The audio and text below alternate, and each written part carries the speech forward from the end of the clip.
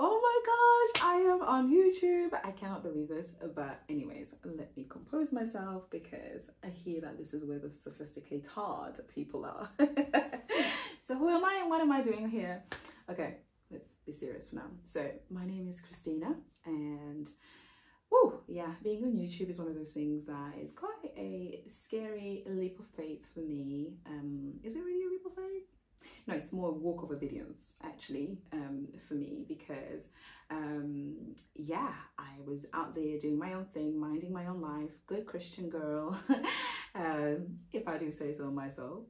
Uh, but really, kind of just living a life where the Holy Spirit was not really leading the show.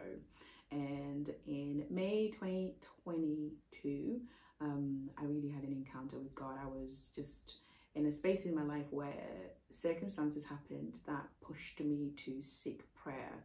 And I was seeking prayer for God to actually do something about those things. And I go back on my merry way, you know, doing, you know, life as I was before, being a good auntie to my niece and nephew, waiting for marriage, um, you know, working, doing things. You know, I'm a psychotherapist, I'm an assistant professor. So my life is busy, y'all. My life is busy. um, but, you know, in my quest for God to respond to the things that I was trusting Him for and heal me from what had happened um, back then in May, I met with him. It's almost like I had my own. I mean, is it fair to call it like a like a like an interruption on the road to Damascus? I was on my journey, um, going somewhere else. You know, just as a good person, a good Christian, go to church, read the Word. You know, here and there, um, and God just interrupted my whole life. He was just like, before I formed you in your mother's womb, I knew you, and I chose you, and you know, I put my word in the inside of you.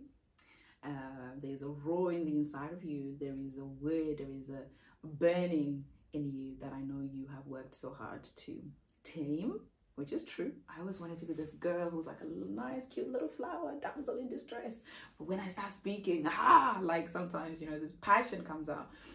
And God was like, that's mine. You have been using it and it's all good, you know uh, in other things, which has been great. Like I enjoy my lecturing role in my assistant professorship, honestly, and the students love me because I teach from a place of passion. I give everything, and that's all well and good. It's helped me in my career, but the truth of the matter is, you know, even as a therapist, but the truth of the matter is, God was saying that it's time that that gift that I've put in the inside of you is used in my kingdom for the purposes that which I've created it for.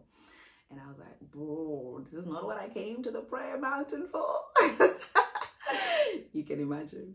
But God has been just so beautiful. He started with me just unearthing and excavating every hindrance, every pattern of being, thoughts, feelings, emotions, character that was not in line with His will. And to be honest with you, Matthew 6.33 became alive in my life when it really was. Because he gave me that word uh, uh, at the beginning of last year, actually January, but I didn't really do anything with it until you know, May, where it was like, seek first the kingdom of God and his righteousness, and all things will come.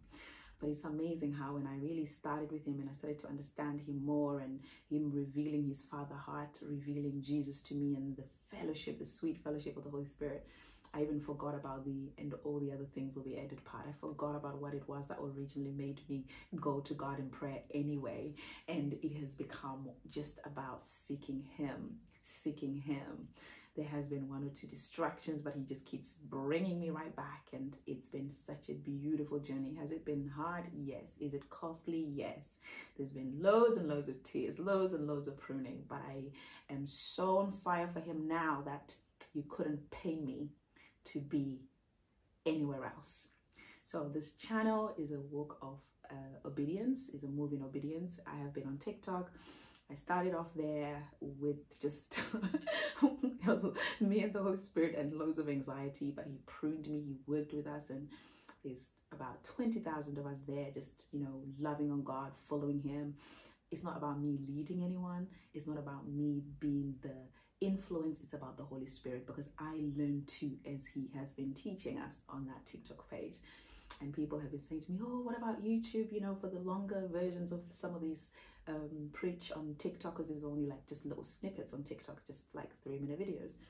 And I was like, oh, I'm not sure about that. YouTube is a bit more exposing. Oh, you know, and um, at the end of last year, God really pressed it on my heart to start to speak longer messages, even on this platform, and just to go after Him. So that's really why I'm here. That's why I'm on YouTube. And so I will never ask anyone to please subscribe. Nah, nah, nah. All I can say is this if the Spirit of the Lord leads you here, you're in good company. We want to be people who occupy, I was about to say a small part, then the Holy Spirit just kind of, you know, said, no, not small part. We're going to be part of the army of God that speaks His word undiluted, run after Him, not for what He can do, but for who He is, and be a generation of burning for God type hearts. Um, yeah, so that's all I can say. And it is my prayer, it is my desire that we burn for Him for real, for real, and love on Him and love Him and it's a costly but worthy journey. So if that's you, you're hungry for more, God has been pressing it on your heart that He wants, or you want more of Him, fellowship with Him, then you are in good company and you can subscribe. We'll see where this journey takes us. But what I know for sure is that He is good. When you taste, you will see that He is good. And I'm excited. I hope you are too.